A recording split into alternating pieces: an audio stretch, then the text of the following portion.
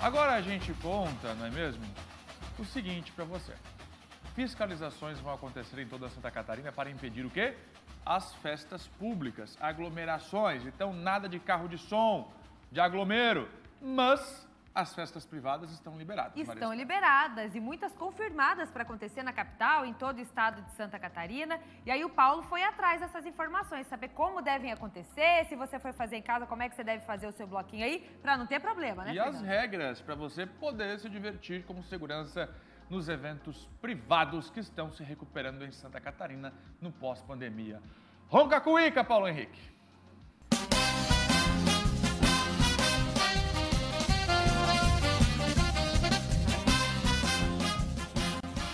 A vontade era de dizer que esse é um ano atípico, mas estamos no segundo ano seguido sem a folia do carnaval na rua. E parece que até o céu fala pra gente. Dessa vez a tristeza não foi enterrada, mas a alegria da capital, ah, essa sim está de luto. Que o diga os comerciantes, que aproveitam o movimento dessa época para poder lucrar. Ajudava bastante no lucro, ainda mais na pandemia agora. Se tivesse carnaval ia ajudar bastante, né? Mas como não teve, a gente não, vai lutar para sobreviver. Sempre tinha, né? No enterro da tristeza dava bastante gente. Só que agora não tem, né? Já faz dois anos, três anos que não tem carnaval na rua, né? Esse ano também não tem, o outro. Mas tá certo, é por causa da pandemia, né? Mas é mais um ano sem carnaval. Vamos fazer o quê? Vamos esperar que o próximo ano a gente consiga fazer lucrar esse dinheiro que a gente perdeu, né? Sexta-feira de manhã e essas horas o entorno da Praça 15 já ia estar sendo preparado para a festa que ia tomar conta de toda a região central de Florianópolis. Ao invés disso, tudo vazio. Isso por conta da proibição e do cancelamento das festas públicas por parte da Prefeitura de Florianópolis. Em contrapartida, os diversos eventos privados já estão com o calendário cheio durante todo o feriado. Alguns blocos tradicionais foram cancelados e outros devem acontecer a portas fechadas mediante ingressos que podem chegar até 600 reais. Aqui em Jurerê, por exemplo, os hotéis estão com vagas limitadas e todos os beach clubs e baladas estão com festas confirmadas, algo que para a economia de Florianópolis não é ruim. É uma expectativa muito boa.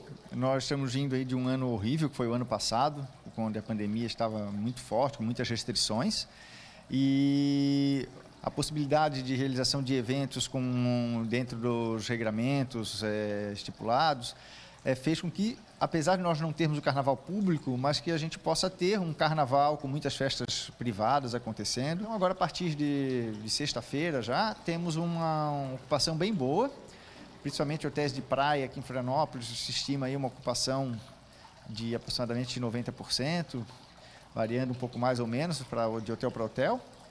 E no centro da cidade estamos com uma expectativa de ocupação em torno de 75%. São cerca de 30 mil vagas em hotéis na região de Florianópolis. Mas muita gente utiliza aplicativos e sites para alugar apartamentos por preços menores. Para esse pessoal, as opções ultrapassam 100 mil imóveis. E apesar de ainda existirem vagas no centro da capital, o perfil de quem vem curtir as festas tem mudado nos últimos anos. Às vezes a gente faz uma previsão com uma semana antes, ah, está com 70%. Uma semana depois, assim, quando está em cima da hora, tipo, no, agora estamos com o carnaval acontecendo.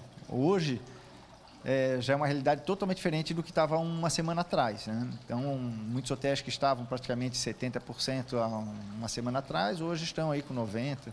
Para o setor de eventos, a Prefeitura de Florianópolis liberou sob a condição de cumprirem as regras sanitárias que continuam as mesmas, já estipuladas anteriormente, sem nenhuma mudança para o feriado. A Guarda Municipal também vai estar vistoriando os locais. A expectativa é de que os números sejam de retomada. Hoje, o setor tem cerca de 40% do tamanho que tinha em 2019, onde 80 mil empresas do ramo geravam 2 milhões de empregos em Santa Catarina.